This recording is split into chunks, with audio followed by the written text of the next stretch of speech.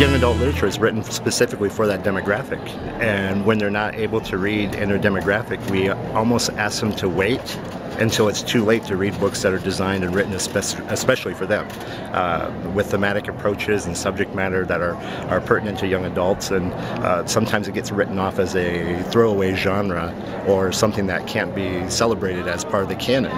Uh, but I have a good friend, David Macinnis Gill, who says the only requirement of a book to enter into the canon is that one teacher teaches it and then shares out with other people, and then it becomes part of that, that celebrated canon. I think all YA is smart, uh, but I've, I've actually begun to coin a term called smart YA, and I, I can point to a couple books already this year, like uh, Jonathan Green's uh, The Fault in Our Stars, or Daniel Handler's um, Why We Broke Up.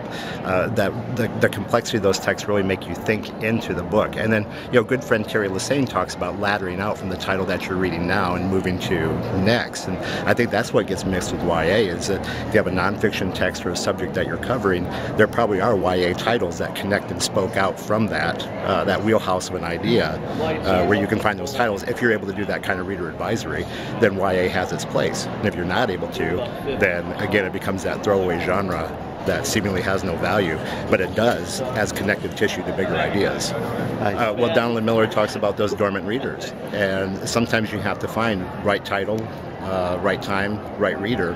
And it may be just a thing, uh, you know, we talk about students being now and next.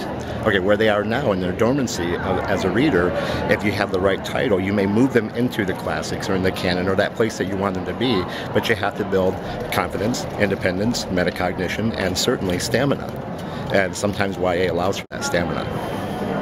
If I were going to speak directly to the uh, the Common Core folks, I would say, uh, here's the thing: please allow us to do the how you can do the what as much as you need to, but uh, you keep the how in the hands of the classroom teacher, that, that independence, that, that innovation that happens in those small, quiet places called learning communities.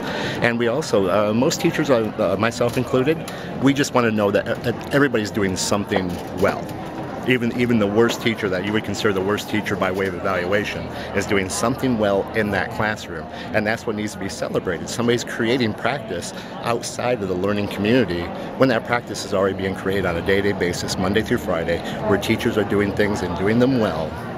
And that's the part that's not being put at the table